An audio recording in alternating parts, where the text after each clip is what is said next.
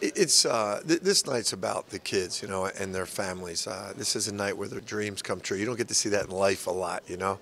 Uh, you, you win a championship, you get to watch them go to experience that, and now you watch them experience this tonight, and, and especially their families, uh, who have you know supported them and, and, and really made them the men they are. So it's it's a it's a really fulfilling night.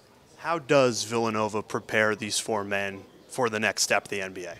Well, first of all, we find really good guys. they, come to us with great character, great families.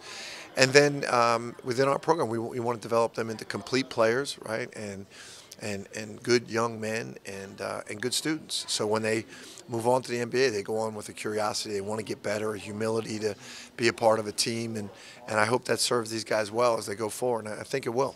What was it like sitting next to Mikal and Donte as they get their dream realized? It, it's really cool. You you can see uh, in their eyes uh, a, a, culmination of, of a life's work to this point in their young lives, you know, and you can see the emotion in their families, and, and I feel the emotion myself. Just uh, sit when their names called. It, it, there's a there's a sense of relief too, like it's been my dream and I made it. You know, it's a, it's a really uh, emotional moment.